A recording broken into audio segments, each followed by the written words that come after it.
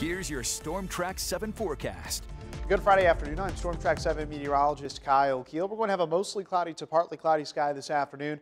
Uh, by about noon, we're starting to see that uh, cloud cover break up just a bit, so definitely a brighter afternoon ahead.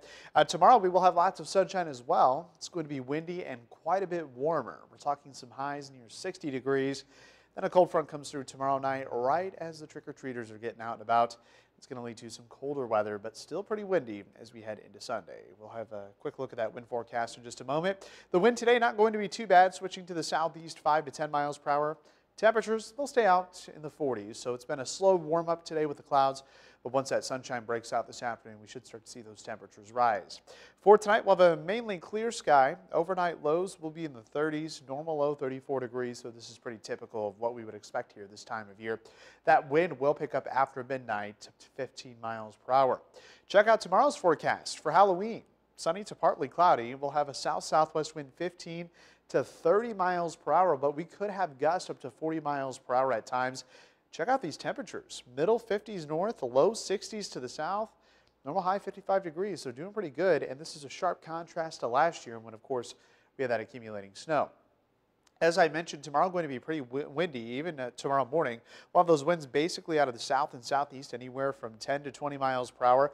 Uh, these winds are only going to get stronger here as we head through the afternoon, but that south wind is really going to help boost those temperatures up. As we head toward tomorrow night, you can kind of see the wind start to change directions here around uh, 6 or 7 o'clock. So as those trick-or-treaters are heading out, uh, we'll start to see that front move in, and those temperatures will quickly go from the 50s to the 40s. And then with that northwest wind ushering in that cooler air, we will certainly be a lot colder here Sunday morning. Uh, those sustained winds will be up to 30, maybe 35 miles per hour, so gusts could be up to 40 miles per hour at times. And again, temperatures are going to probably start off in the upper 20s, and that wind will still be howling from the northwest here as we head through the day on Sunday, so that will keep temperatures only near 40 degrees. You can see that nicely here on the city by city forecast.